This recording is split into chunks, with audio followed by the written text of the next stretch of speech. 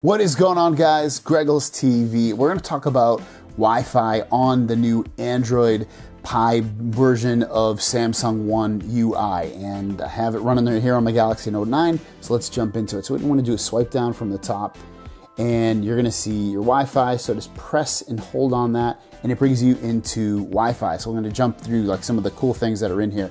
First of all, first of all, it's going to show you what your network you're connected to, and then it's going to show you other available networks. Pretty easy, pretty simple to follow on. If you want to turn Wi-Fi on and off, you can tap it right there. You can also go into Wi-Fi Direct if you have a phone and you're currently visible to nearby devices. You can connect via Wi-Fi Direct, maybe to send files, things like that. Other than that, the good stuff is in right here. We hit those three dots in the top right. You will not probably have contact us. I have it because I'm using the beta version of uh, Samsung One UI. So what you want to do is hit advanced and it's going to bring you into some really, really cool stuff. So first of all is switch to mobile data. And this is going to be cool because you can either set it to normal mode or be really, really aggressive. And you can use mobile data to access the internet when your Wi Fi internet connection is only slightly unstable. This may increase your data usage. So basically, if your Wi Fi isn't that great, it's going to automatically switch you over to whatever LTE, hopefully, or an LTE, uh, maybe 5G by the time the S10 comes out.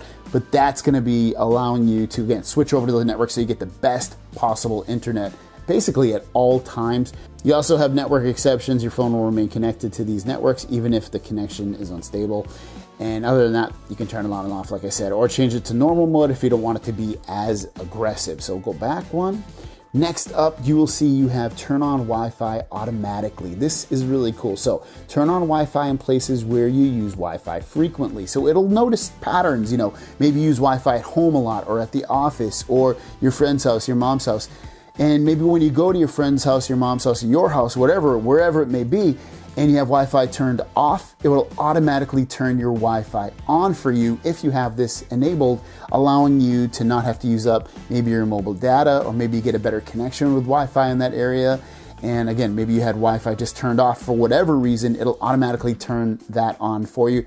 I love that as a feature. Um, obviously, you can turn it off or disable Wi Fi even if it turns on at that point, but it's still a great little feature to have. Next up is secure Wi Fi. Now, this costs money. They do give you a little bit of uh, free Wi-Fi, but basically auto protect for unsecured Wi-Fi networks. So if you go in here, it's going to be like if you're at an airport or maybe you're at um, um, in a park using the Wi-Fi or wherever you may be, like an unsecured Wi-Fi network. It's going to protect you. It's going to give you basically encryption over Wi-Fi, and you can go in here and mess with the the the, the Wi-Fi settings in here. You can do auto protect unsecured Wi-Fi.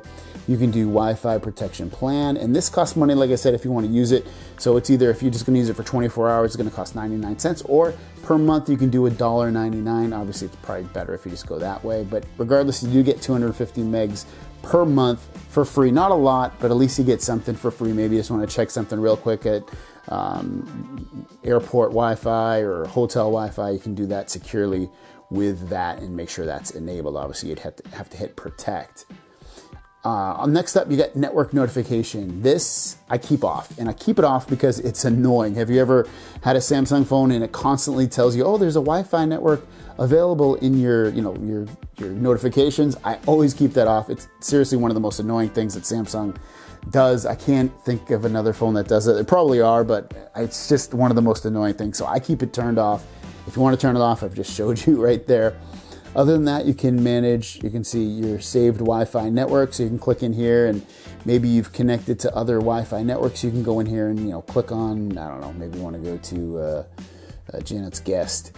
And you can hit forget, or turn off auto connect or whatever you want in there. That way it uh, doesn't auto connect or whatever. Maybe you want to remove it, clean it up. Other than that, you have Wi Fi control history.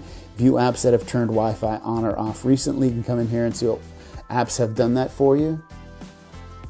Hotspot 2.0, which automatically connects to Wi Fi access points that support Hotspot 2.0. Install network certificates, install security certificates from your phone, and that's basically it. Most people will probably use the first couple settings that I showed. Um, hopefully, that helps you out with what to notice and see within the Wi Fi uh, settings of the new One UI, and it might look identical to what you have right now in software, so maybe helped you out that way. But anyways, guys, thanks for watching. Don't forget to subscribe. New videos every single day, and I'll see you guys down the road. Peace.